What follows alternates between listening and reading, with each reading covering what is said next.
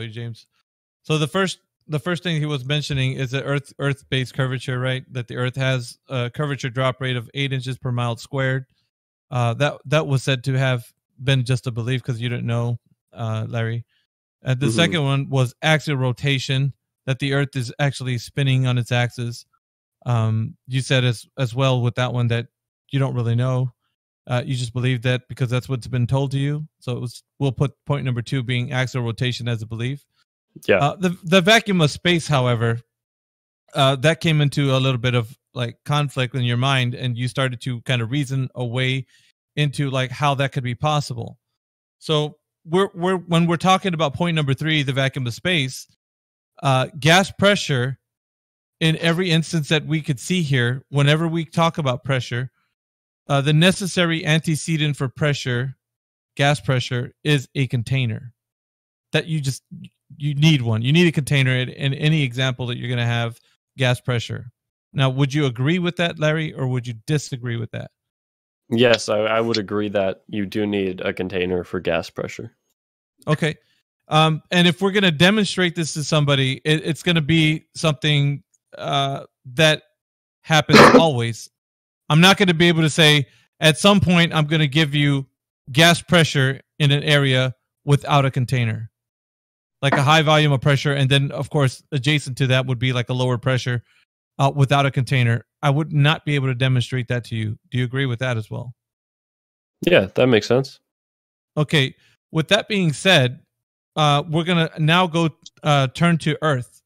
If we're saying that they're telling us at some point the pressurized system, even if it's gradual, uh, becomes less and less to the point where it becomes nil, and you know gets into a, like the vacuum or low pressure, and you have a pressurized system residing next next to a vacuum, then that right there, without a barrier, that you can't have that.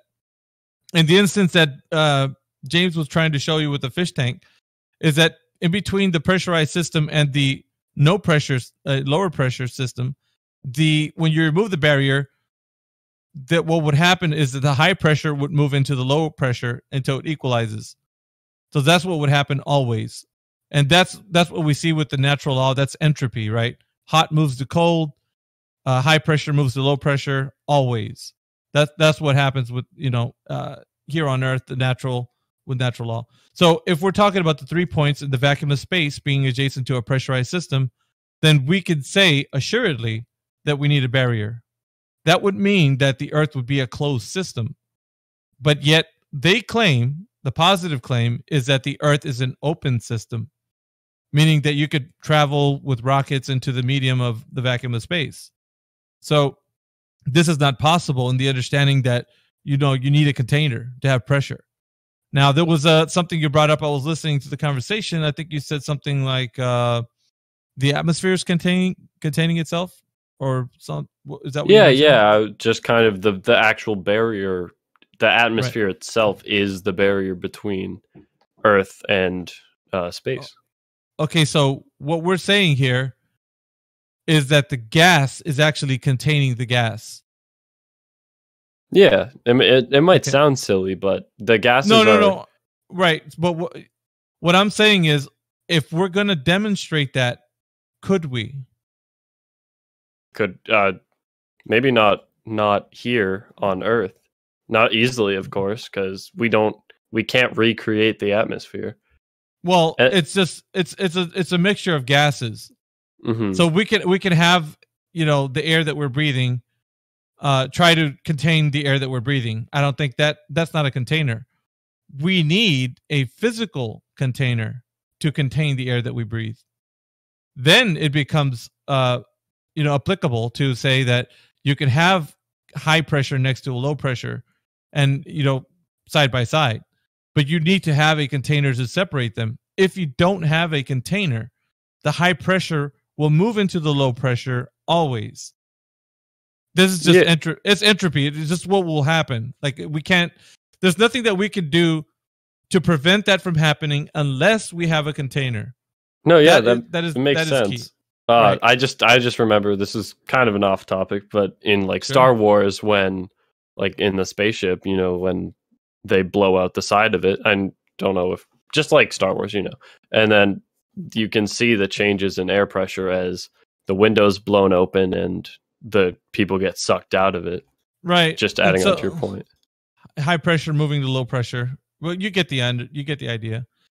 But that's what they say that it's the Earth is is uh you know with the high pressure next to you know residing next to the lower pressure vacuum of space.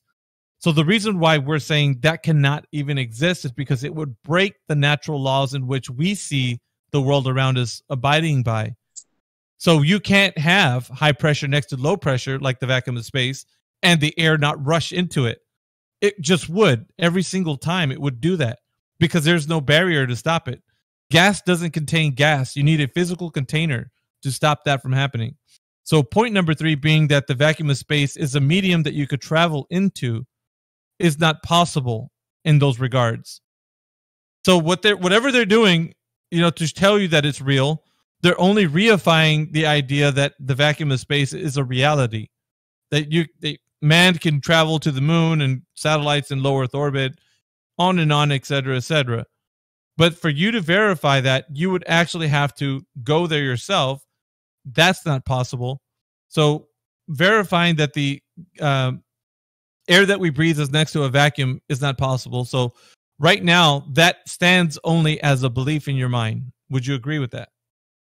Yeah, yeah, I'd say if if it's not measurable on on Earth currently, then yeah, it would have to be a belief. Okay. So putting the putting the three points together, meaning that Earth having curvature, the second one axial rotation, and the third one the vacuum of space are all just a belief within the construct of the globe earth paradigm. And so coming into this knowledge, we ask the people to honestly, you know, intellectually honest, you know, kind of look at those three points and say, do I really know or have I just been believing this? And so it always comes back to, you know, because you're being honest, Larry, that you just believe because you've been taught this information. There's nothing that we have done, and nobody has done, actually, I could say that with honesty, nobody has done to verify this because these constructs uh, have only been given to us uh, via uh, school, uh, you know, whatever movies, you know, however you Star Wars, like the way you said, like the understanding of space and all that.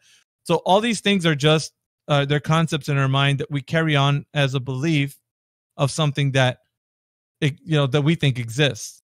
So I'm, I'm just prodding your knowledge as to what you know, but uh, thank you for being honest about it. But it's still as it remains right now, Larry, just a belief in your mind that Earth has curvature, um, that it spins, and it's you know that we're flying in outer space and so on and so forth.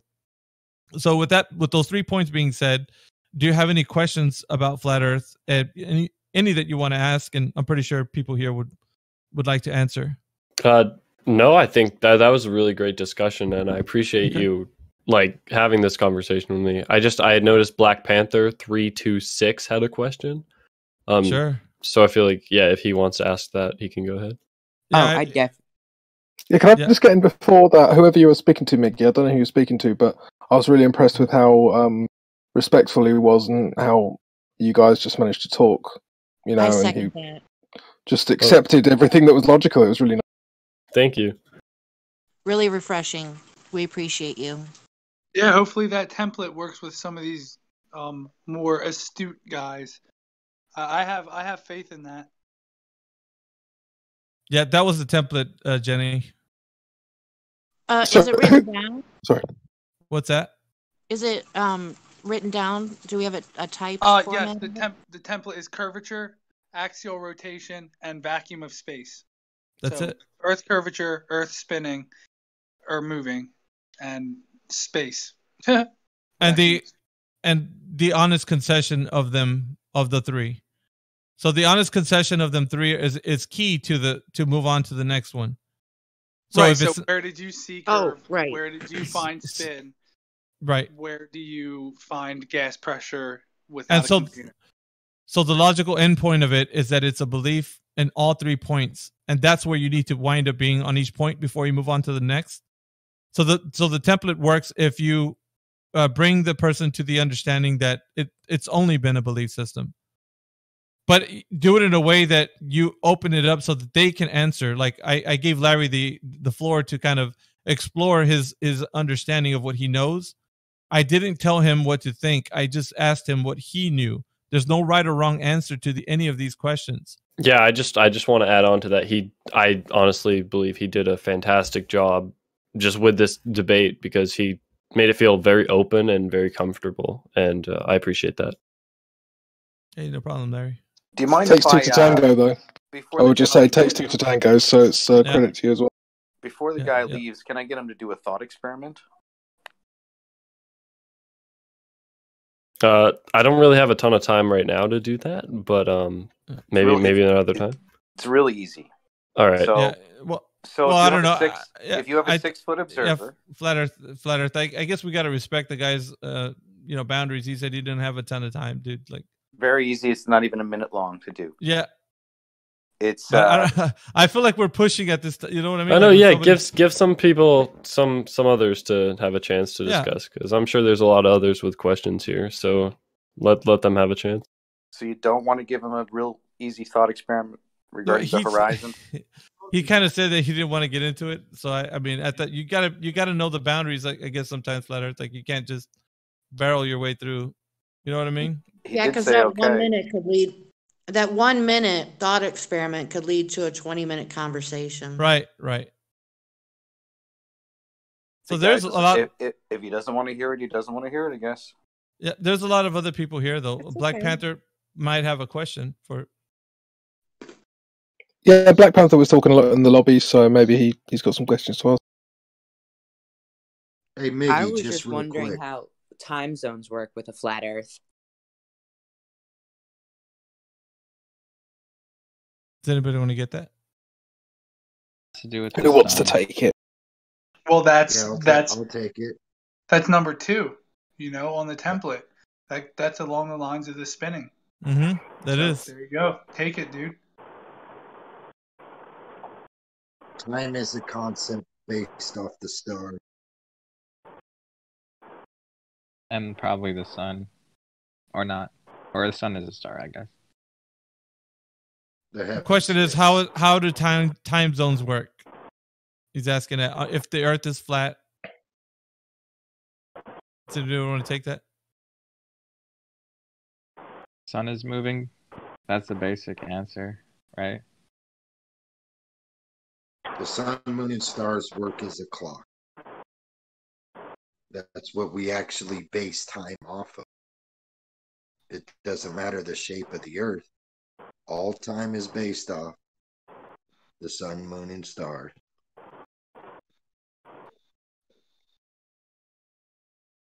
I mean, I guess fun- fundamentally, if uh, I'll I'll take it now. So fundamentally, what we're talking about is something we observe. So we, we know that time zones happen.